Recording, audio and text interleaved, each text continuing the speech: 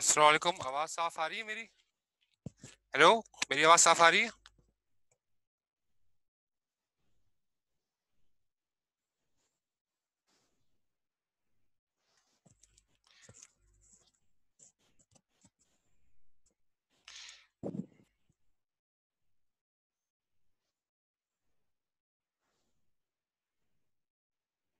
सही। अच्छा class start होने से पहले थोड़ी सी अच्छी बात कर लेते एक दो मिनट। फिर इंशाल्लाह बात करते हैं। अच्छा मार्क्स के बारे में कोई क्यूरी, पेपर के लेक्चर के आखिर में करिएगा। जब लेक्चर ख़त्म होगा ना, उसके बाद हम लेंगे। तो पेपर के हवाले से, मार्क्स के हवाले से कोई बात करनी हो तो। अच्छा कोई अच्छी बात कर लेते हैं स्टार्ट में। तो लास्ट क्लास में मेरे ख्याल में तकवा के बारे में मैंने बताया था आप लोगों को, तकवा क्या? और मतलब सबर, शुक्र सबर, शुक्र और तकवा, ये तीन सिफात के बारे में आपको बताया मैं। चौथी है तवक्कुल तवक्ल एक सिफत है। तवक्कुल का मतलब क्या होता है? उर्दू में तवक्कुल के मायने वैसे तो बहुत वसी हैं, लेकिन उर्दू के अंदर एक लफ्ज़ है भरोसा। तो ट्रस्ट यानी कि इंग्लिश में से हम कहते हैं। तो वो समझे तवक्ल के मतलब करीब करीब माने में लेकिन तवक्ल का मफहम बहुत गहरा है। ठीक है ना? कुरान पाक की आयत है, जो अल्लाह पे तवक्ल करे, अल्लाह उसके लिए काफ़ी है। जो अल्लाह पे, यानी कि अगर तवक्ल को आप भरोसे के माने में लो, जो अल्लाह पे भरोसा करे, अल्लाह उसके लिए काफ़ी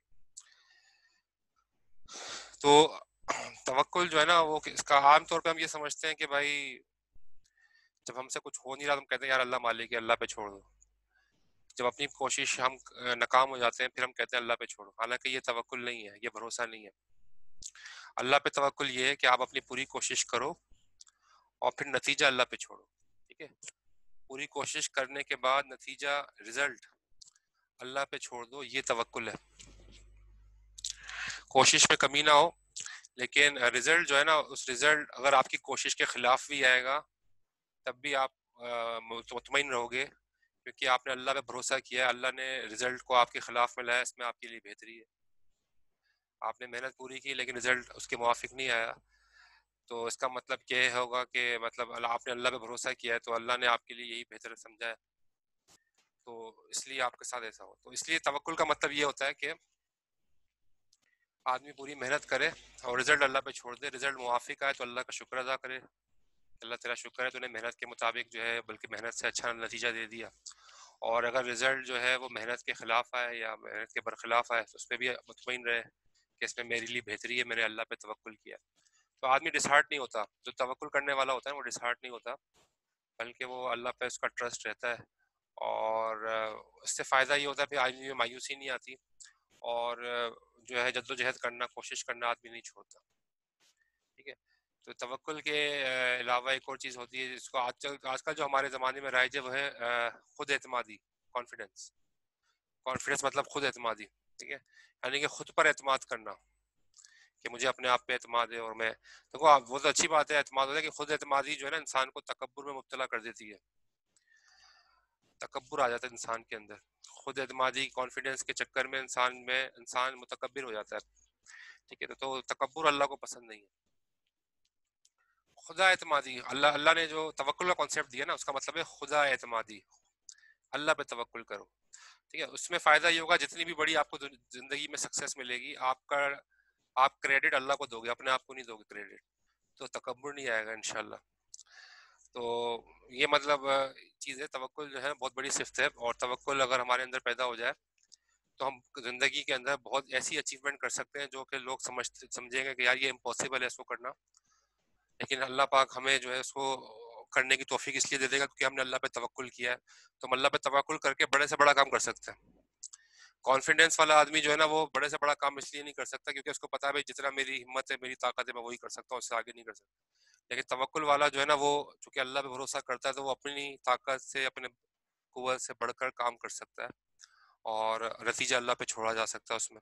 तो बहरहाल ये कहने का मकसद था, हम अपने अंदर ये सिर्फ़ पैदा करें तवक्ल की। और देखें कि हमारे साहब असलाफ में, बड़ों में, साहबा में और नबियों में ये सिर्फ़ कैसे मौजूद थी और हम भी इसको अडॉप्ट करने की कोशिश करें। अच्छा जी, ये तो अच्छी बात हो गई, थोड़ा अटेंडेंस देख लेते हैं आज की। स्टार्ट करते हैं क्लास अटेंडेंस एट ज़ीरो आई है आपकी।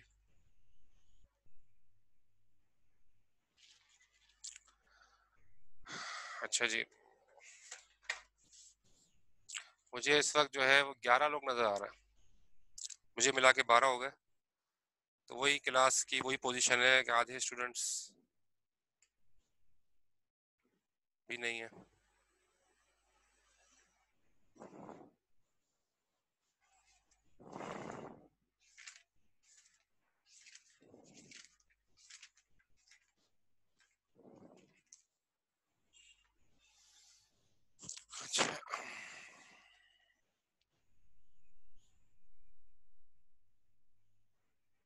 अच्छा एजाज ने अपनी प्रेजेंट खुद ही बता दी सही है। जीरक साजिद है? जीरक साजिद? जीरक साजिद? जीरक नहीं है। ठीक है। जीरक पिछली क्लास में बिल्कुल एंड में आए थे। अच्छा अजीम अहमद है? अजीम अहमद। Present sir. ठीक है। मैं वो भी खोल लेता हूँ पार्टिसिपेंट्स नज़र आ जाएँगे। सही अजीम अहमद है। अच्छा मोहम्मद यासीन मोहम्मद यासीन प्रेजेंट है। मार्क्स के बारे में पेपर के, लेक्चर के आखिर में बात होगी। अभी इस पे नहीं पूछे चैट पे। अच्छा मोहम्मद यासीन हो गया शिराज शिराज चन्ना है? शिराज चन्ना नहीं है।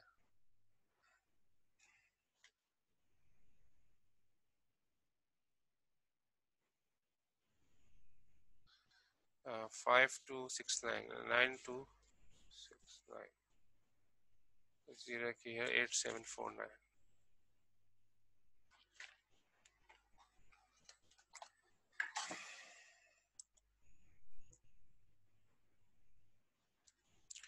अच्छा मोहम्मद रेहान शरीफ मौजूद है? रेहान शरीफ।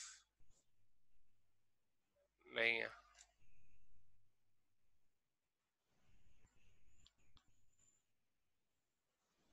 रेहान शरीफ नहीं है नाइन थ्री सेवन ज़ीरो अच्छा उमेर हारून उमेर हारून, ठीक है। मायरा खान मौजूद है। मायरा खान। नहीं है।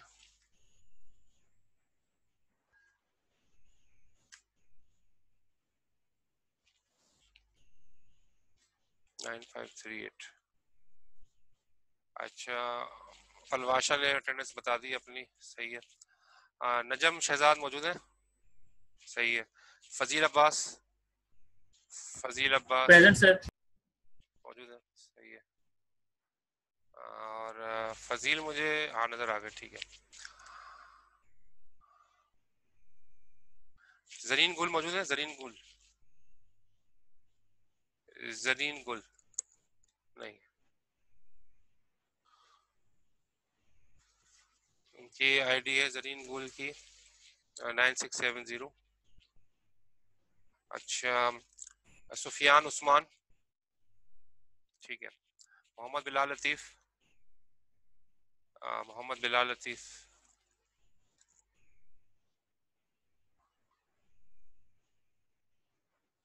मोहम्मद बिलाल लतीफ़ नहीं है। Nine six seven three. अच्छा मोहम्मद वसीम। मोहम्मद वसीम नहीं है।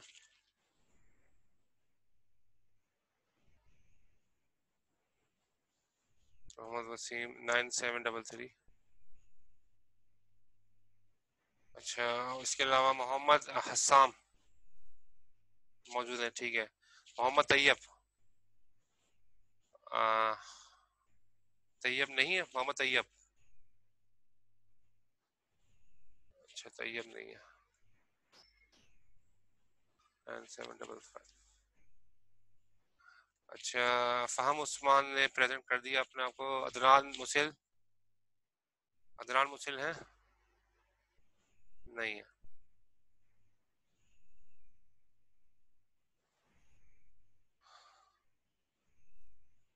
नाइन सेवन फाइव नाइन अच्छा मोहम्मद उसामा अशरफ? सही है। मलिया खान। मलिया खान मौजूद है।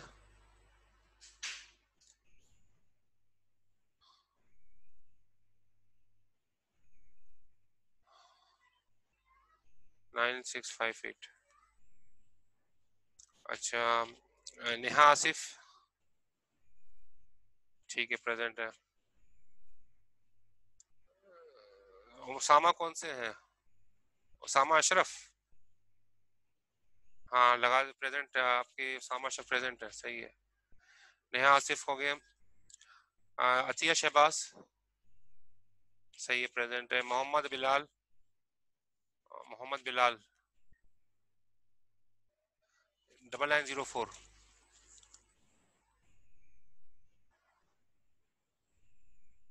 Mohammad Bilal नहीं है। मुइज अथर मुइज अथर प्रेजेंट है। अच्छा मोहम्मद रेहान ने अपनी प्रेजेंट लगाई है, ठीक है। रेहान शरीफ है ना ये, सही। है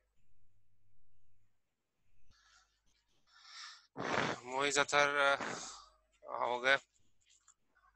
और अल्ताफ हुसैन है। सही है। नुमान अली। नुमान अली। नुमान अली मौजूद है?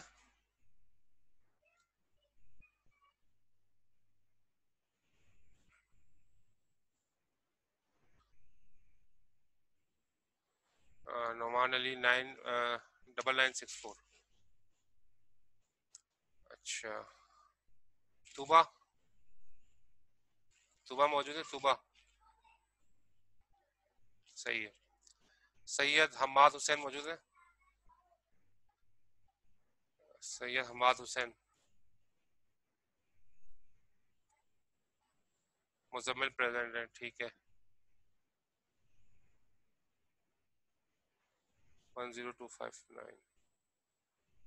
ठीक है, ये मैंने अटेंडेंस मुकम्मल कर ली है।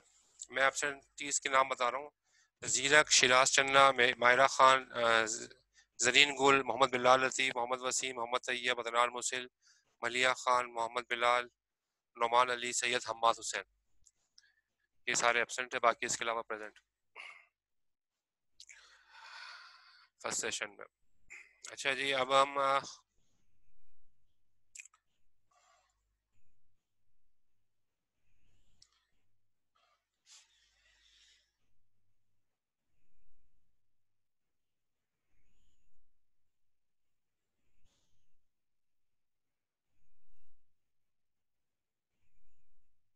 वसीम खान ने ज्वाइन कर लिया है। वसीम खान की प्रेजेंट लगा देता हूँ, चलो।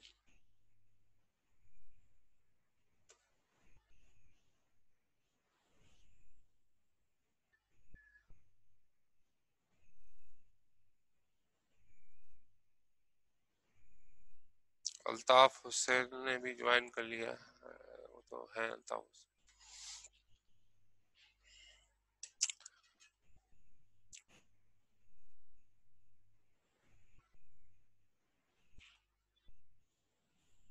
अच्छा जी क्लास स्टार्ट करते हैं। यहाँ तक हमने किया था लास्ट क्लास में कि आपके सामने पॉपअप आ जाएगा।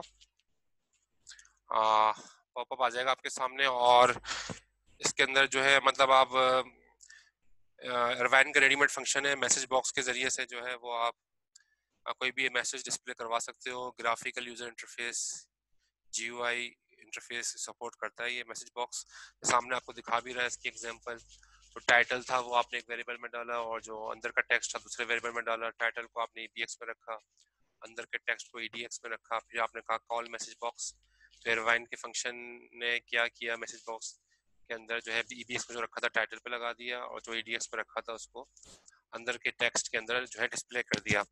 तो ये इस तरीके से मैसेज बॉक्स शो हो गया था। ये लास्ट क्लास में हमने यहीं तक किया था।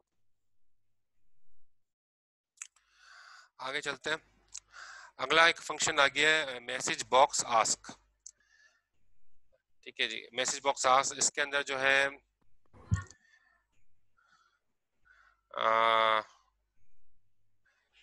मैसेज बॉक्स बॉक्स है तो उसके अंदर आप क्या करोगे? इसके अंदर आप यस या नो के ज़रिए से जो है ना बताओगे कि यानी कि इसमें दो बटन होंगे यस का बटन भी होगा और नो का बटन भी होगा। यानी कि यूज़र दो बटन दो यूज़र आप चाहते हैं ना कि भाई ये काम करना चाहते हैं यस या no do you want to continue yes और नो इस तरह के, जब इस तरह का कोई सवाल पूछना हो तो हम लिखेंगे मैसेज बॉक्स आस्क तो इसमें होगा क्या कि कंसोल विंडो के ऊपर ये चीज़ मैसेज आ जाएगा आपके सामने. अब इसमें आपने करना क्या होगा ये बिल्कुल उसी तरीके से ही है, फ़र्क थोड़ा सा है. जो आपने क्वेश्चन डिस्प्ले करवाना है, उसका एड्रेस आप रखोगे ईडीएक्स में. ठीक है? और जो आपने क्वेश्चन जो है टाइटल के अंदर रखना है, उसका जो है आप रखोगे ईबीएक्स के अंदर, ठीक है? उसका एड्रेस उसका आप ऑफसेट जो है वो ईबीएक्स में रखोगे। तो अगर आपने टाइटल को ब्लैंक छोड़ना है तो ईबीएस के अंदर जो है आप ज़ीरो पास कर दें ईबीएस रजिस्टर में तो टाइटल टाइटल ब्लैंक हो जाएगा। और जब आप मैसेज बॉक्स आज रिटर्न करोगे ना, जब मैसेज बॉक्स आज जो है वो करेगा क्या, कि जो भी यूज़र से वैल्यू लेगा, उसको ई रजिस्टर में रख देगा। ई रजिस्टर के अंदर रख देगा यूज़र से वैल्यू लेने के बाद। और ज़ाहिर है यूज़र या तो यस प्रेस करेगा या नो प्रेस करेगा। अगर यूज़र ने बटन में यस प्रेस किया तो ई एक्स में चला जाएगा सिक्स और अगर यूज़र ने बटन के अंदर नो प्रेस किया तो ई एक्स रजिस्टर के अंदर चला जाएगा सेवन ठीक है ई एक्स रजिस्टर में सिक्स चला जाएगा। अगर यूज़र ने नो प्रेस किया ई एक्स रजिस्टर में सेवन चला जाएगा अगर यूज़र ने नो प्रेस किया। ठीक है यस के ऊपर सिक्स और नो के ऊपर सेवन ई एक्स रजिस्टर के अंदर जो है पास हो जाएगा। तो ये मतलब उसका फंक्शनैलिटी के बारे में बताया, इसकी एग्ज़ाम्पल यहाँ पर आ गई आपके सामने। इसको समझ लें ताकि इसको यूज़र से पता चल जाए कैसे इस्तेमाल करते हैं। डॉट डेटा में आप गए डॉट डेटा में डॉट डेटा में जाने के बाद आपने कैप्शन में लिखा, सर्वे कंप्लीटेड तो नज़र आ रहा है मतलब ये एक वेरिएबल बनाया कैप्शन के नाम से कोई भी नाम रख सकते हैं, यहाँ पर कैप्शन का नाम से वेरिएबल बनाया। उसके अंदर जो है वो क्या टेक्स्ट रख दिया आपने? सर्वे कंप्लीटेड और ये नल टर्मिनेटेड स्ट्रिंग आपने आखिर में लगा दिया। और एक अगला वेरिएबल बनाया क्वेश्चन के नाम से, जो बाइट टाइप का है thank you for completing the survey ये टेक्स्ट आपने रख दिया और उसके बाद अगली लाइन एक लाइन छोड़ी आपने zero D H zero H और अगली लाइन पे जाके आपने ये प्रिंट कराया वुड मतलब आपने ये टेक्स्ट रखवाया would you like to receive the results ठीक है, ये टेक्स्ट आपने रखवा दिया और इसको भी आपने नल टर्मिनेटेड स्ट्रिंग के ज़रिए से जो है यहाँ पर एंड किया। क्योंकि टेक्स्ट है ज़ाहिर है। अब ये जो है पूरा टेक्स्ट यहाँ पर कंप्लीट हो गया। अब आपने move E B X offset caption अब क्या किया कि कैप्शन जो है ना, ये मूव कर जाएगा ई बी एक्स में। इसका एड्रेस कैप्शन का एड्रेस ईबीएस में चला गया तो ईबीएस में जो चीज़ चली जाती है, वो टाइटल में आ जाएगी तो सर्वे कंप्लीटेड जो हमने लिखा था, वो टाइटल में आना शुरू हो जाएगा। मूव ईबीएक्स ऑफसेट और जो एड्रेस था क्वेश्चन का क्वेश्चन एक वेरिएबल हमने हमने बनाया ऊपर, ये रहा। तो क्वेश्चन वेरिएबल का जो एड्रेस है ऑफसेट है, वो आपने रखवा दिया ईडीएक्स में। ईडीएक्स रजिस्टर का नाम है ईडीएक्स में जो चीज़ होती है, वो अंदर मैसेज के अंदर प्रिंट हो जाएगी। तो ये जो आपने लिखा है thank you for completing the survey would you like to receive the results ये सारा टेक्स्ट जो है वो अंदर आ जाएगा। और फिर आपने लिखा कॉल मैसेज बॉक्स आस्क जैसे ही आपने ये लिखा कॉल मैसेज बॉक्स आस्क तो स्क्रीन पे तो ये फ़ंक्शन कॉल हो जाएगा। जो ईबीएक्स e में था वो टाइटल बनेगा, जो ईडीएक्स में था वो अंदर का टेक्स्ट बनेगा और ये आपके सामने शो हो जाएगा। उसके अंदर दो बटन नज़र आएँगे यस या नो ठीक है? तो यस पे जो है वो आपके सिक्स चला जाएगा। ई एक्स रजिस्टर में नो प्रेस करेंगे तो ई एक्स रजिस्टर में सेवन चला जाएगा। यानी कि वैल्यू जो होगी वो ई एक्स रजिस्टर के अंदर पास हो जाएगी। यस या नो करने की बिहाफ पे। तो इसमें मतलब ये इसलिए करते हैं कि अगर यस किया तो आप चेक कर लो if E X equal to six इसका मतलब है कि वो यस है। तो फिर ये काम करो प्रोग्राम में बता दो। If E X equal to seven इसका मतलब है नो है। तो आप बता दो कि अगर नो हो जाए तो प्रोग्राम में ये काम करो। यानी कि जो येस और नो पे काम करते हैं, वो लॉजिक आपकी बन जाएगी। और आप इस मैसेज बॉक्स आस के ज़रिए से जो लॉजिक को जो है हैंडल कर सकते हो। तो आप ज़रूर इसको यूज़ कीजिएगा, खासतौर पर अपने प्रोजेक्ट्स के अंदर। जब आप प्रोग्राम को दोबारा चलाना चाह रहे हो तो लिखा हुआ आ जाए प्रोग्राम के आखिर में आ जाए जाइए बॉक्स के do you want to continue और इस तरह इस तरह की चीज़ें करेंगे तो ये अच्छा पॉजिटिव इमेज आएगा आपके प्रोजेक्ट के अंदर भी। तो इस चीज़ों को यूज़ कीजिएगा। ठीक है? और कोई क्वेश्चन हो तो पूछ ले। इस स्लाइड में तैयब आ गए हैं। थोड़ी देर से आए थे, वो कहते लाइट का इशू है। चलो ठीक है। अच्छा ये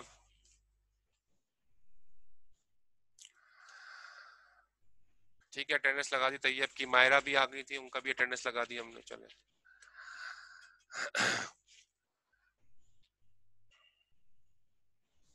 वसीम खान की भी प्रेजेंट लग गई सबकी इनकी मैंने लगा दी तो थोड़ा लेट ज्वाइन किया उन्होंने लेकिन लगा दी मैंने प्रेजेंट अच्छा ये आप देख लें ये आपको इस, इस स्लाइड में कोई क्वेश्चन है? इस स्लाइड में कोई क्वेश्चन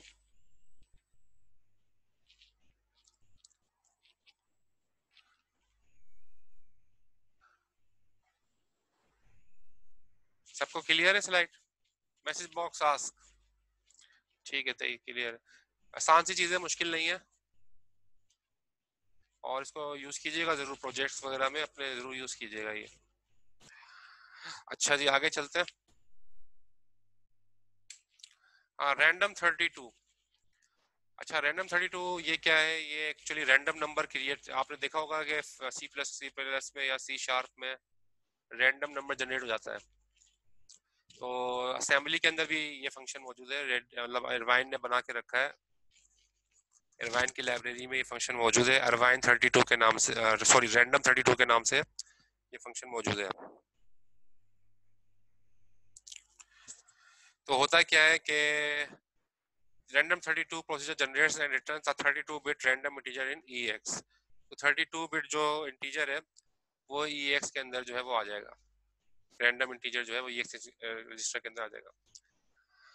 यानी कि कोई भी रैंडम नंबर जनरेट होगा और वो ex रजिस्टर के अंदर आ जाएगा। When called repeatedly, random 32 generates a simulated random sequence जब बार बार कॉल करेंगे, random 32 बार बार कॉल करेंगे तो रैंडम सीक्वेंस आ जाएगा। रैंडम सीक्वेंस के ज़रिए से अलग अलग नंबर अलग अलग नंबर हर मरतबा जो है आ जाएगा। लेकिन डुप्लीकेट भी आ सकता है। मैं भी आपको बताऊँगा डुप्लीकेट अगर ना आए तो उसके लिए क्या करना पड़ेगा? तो अलग अलग नंबर आ सकता है, लेकिन डुप्लीकेट वही नंबर दोबारा आने के भी चांसेस होते हैं। तो बहरहाल, ये रैंडम नंबर जनरेट होता है। The number are created using a simple function having an input called a seed sir, में एक सी, एक फ़ंक्शन होता है सीड सीड फ़ंक्शन के ज़रिए हर मरतबा रैंडम नंबर नया आता है। और अगर सीट हर मरतबा नया आए तो जब सीट को अगर बदल दिया जाए तो रैंडम नंबर डुप्लीकेट नहीं होता। अगर सीट नहीं बदलेंगे, एक ही सीट रहेगा तो डुप्लीकेट आने के चांसेस होते हैं। तो मैं आपको दिखाऊँगा कि सीट को अगर हम चेंज कर दें तो रैंडम नंबर जो है वो फिर डुप्लीकेट नहीं होते, फिर यूनिक रहते हैं। The function uses the seed in a formula that generates the random value आप ये देखें, ये इसका नीचे एक एग्जांपल दे दी है। डॉट डेटा में आप गए डॉट डेटा में जाके आपने एक वेरिएबल बनाया रैंडम वेल के नाम से डीवर टाइप का एक वेरिएबल है, और ये अनइनिशियलाइज्ड रन टाइम पे इनिशियलाइजेशन होगी। डॉट कोड पे गए, वहाँ जाके आपने लिखा कॉल रैंडम 32 जब आपने ये फ़ंक्शन कॉल किया तो फ़ौरन ये फ़ंक्शन कॉल होगा और कोई भी रैंडम नंबर जनरेट होके 32 बिट का रैंडम नंबर कितना होगा? 32 बिट का रैंडम नंबर होगा, ठीक है? कोई भी नंबर रैंडम नंबर 32 बिट का जनरेट होके कहाँ पर आ जाएगा? ई एक्स रजिस्टर में आ जाएगा ई एक्स रजिस्टर में चला जाएगा। जैसे इस फ़ंक्शन को कॉल करेंगे तो वो कोई भी रैंडम नंबर 32 बिट का ई एक्स रजिस्टर के अंदर आ जाएगा। फिर आपने क्या किया? उस नंबर को ई एक्स से उठाया और रैंडम वैल्यू रैंडम यानी जो आपने वेरिएबल बनाया था ऊपर, उसके अंदर शिफ्ट करा दिया। अब ये रैंडम नंबर अब आपके पास मौजूद है, जो कि जनरेट कराया गया है रिवाइन के फ़ंक्शन से, जो कि रैंडम 32 है। इस स्लाइड में कोई क्वेश्चन है? क्लियर है स्लाइड ये?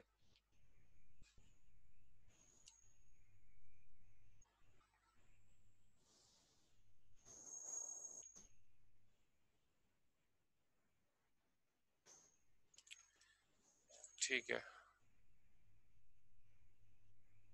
कोई क्वेश्चन हो तो पूछ सकते हैं, कभी स्लाइड के एंड में जब भी रुकता हूँ थोड़ी देर के लिए, किसी को कोई कंफ्यूजन हो तो वो पूछ ले उसमें। अच्छा जी रैंडम रेंज रैंडम रेंज ये ये भी एक फ़ंक्शन है रिवाइन का रेडीमेड फ़ंक्शन है रैंडम रेंज के नाम से। और ये भी रैंडम नंबर जनरेट करता है।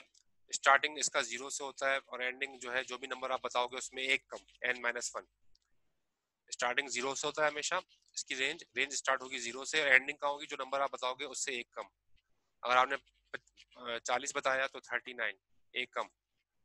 ठीक है? यानी कि एक कम उससे जो है वो रेंडम नंबर जनरेट होगा। एन क्या है? वो इनपुट है जो, जो कि आप हम पास करेंगे और उसकी बिहाफ के ऊपर जो है वो चीज़ होगी। उसके बिहाफ के ऊपर जो है वो चीज़ यहाँ पर आएगी। ठीक है तो the random integer is return in E X तो रैंडम नंबर जो जनरेट होगा वो कहाँ पर रख दिया जाएगा? वहीं पर ई एक्स रजिस्टर के अंदर। ठीक है तो यहाँ पर एक एग्जांपल बताइए, नीचे यहाँ एग्जांपल में क्या बताया कि अगर हम ज़ीरो से लेके 4999 के दरमियान कोई रैंडम नंबर जनरेट करना चाहते हैं और उसको आप अपने वेरिएबल के अंदर सेव करना चाहते हैं तो उसके लिए प्रोग्राम नीचे लिखा हुआ है।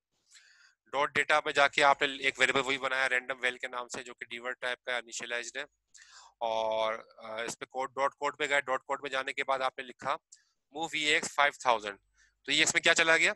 फाइव थाउज़ेंड तो फिर आपने लिखा नीचे जाके कॉल रैंडम रेंज जब आपने रैंडम रेंज कॉल किया फ़ंक्शन तो होगा क्या कि ज़ीरो से लेके स्टार्ट हमेशा ज़ीरो से होगा। और आपने रेंज क्या बताइए फाइव थाउज़ेंड फाइव थाउज़ेंड आपकी रेंज बताइए लेकिन मैंने आपको ऊपर बताया था एन माइनस वन तक जो है वो रैंडम नंबर जनरेट होंगे तो फोर फाइव थाउज़ेंड नहीं बल्कि four thousand nine hundred ninety nine के दरमियान जो है ज़ीरो से लेके four thousand nine hundred ninety nine के दरमियान जो है वो रैंडम नंबर जनरेट होगा और वो रख दिया जाएगा ई ए एक्स रजिस्टर के अंदर। ठीक है वो मतलब वो ई e एक्स के अंदर प्लेस कर दिया जाएगा।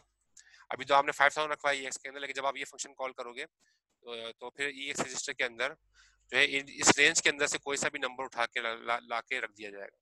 और फिर आप उस ई e एक्स की वैल्यू को उठा के अपने वेरिएबल में यूज़ कर लो। तो ये स्लाइड क्लियर है?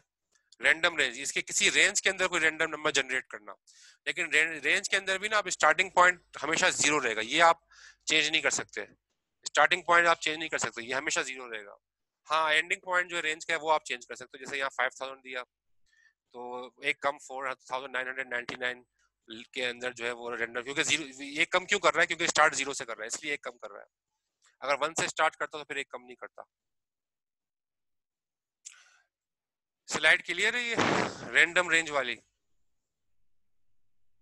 कोई क्वेश्चन है स्लाइड में?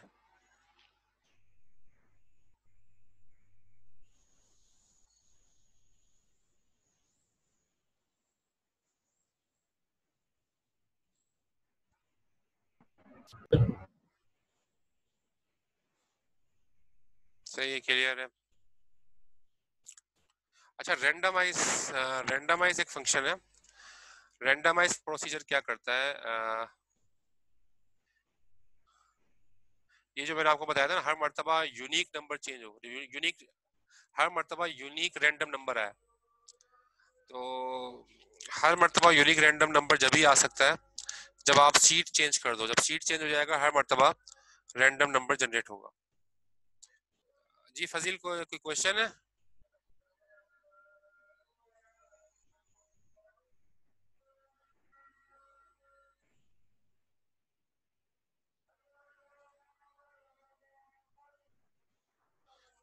माइक तो मैंने अनम्यूट तो किए हुए हैं, अगर आप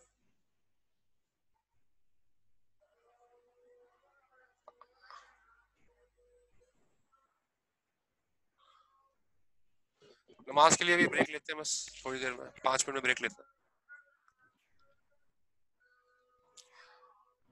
अच्छा जी, मैं बता रहा था random procedure initialises the starting seed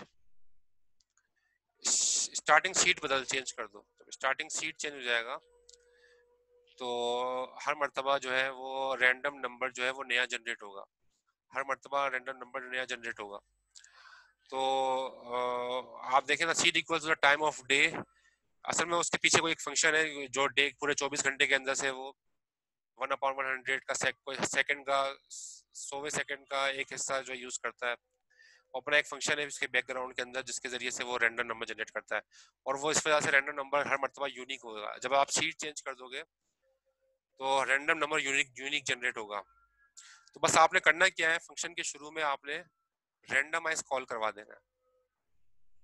जैसे यहाँ पर नीचे लिखा हुआ है नीचे आप देखें लिखा हुआ है कॉल रैंडमाइज जब आप कॉल रैंडमाइज करोगे तो होगा क्या कि रैंडमली जो है वो फ़ंक्शन कॉल हो जाएगा और ई e में चला जाएगा टेन जब आप कॉल रैंडमाइज करोगे तो क्या होगा कि यूनिक नंबर जनरेट होगा रैंडम नंबर यूनिक जनरेट होगा, लेकिन उसके लिए सीट चेंज हो जाएगा, यानी कि सीट चेंज हो गया, नया सीट बन गया, जिसकी बिहाफ के ऊपर रैंडम नंबर जनरेट होता है, नया सीट बन गया।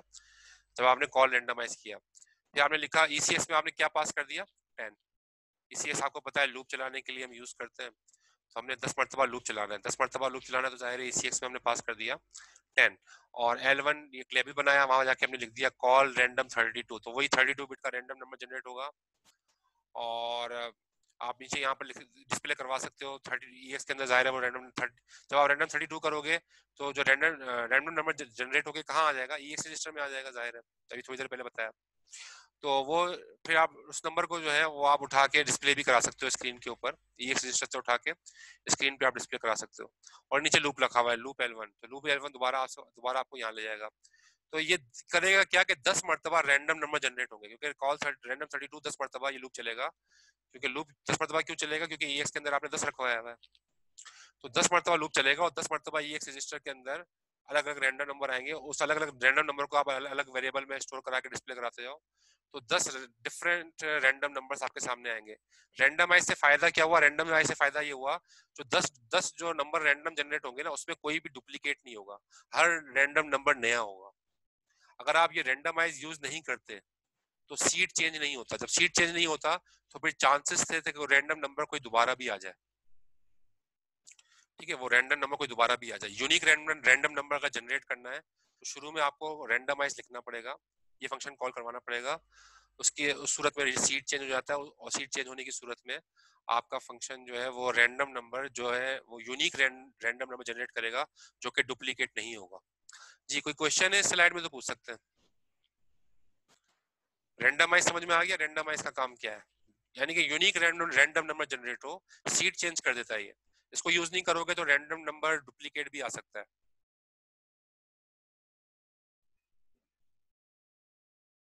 क्लियर है? ये स्लाइड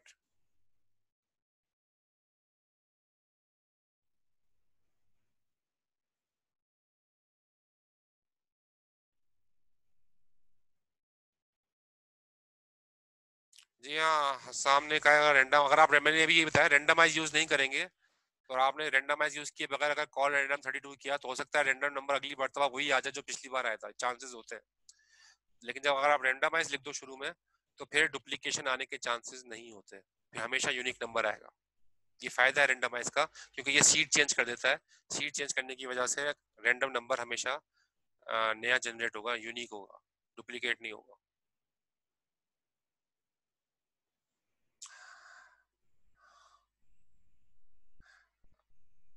ठीक है जी। अच्छा आप जो है वो आ, आ, ब्रेक ले लेते हैं। ब्रेक ले लेते हैं और फिर इसके बाद जो है कंटिन्यू करेंगे। नमाज़ का ब्रेक ले लेते हैं। तकरीबन 20 मिनट के बाद फिर इंशाल्लाह क्लास को कंटिन्यू करेंगे।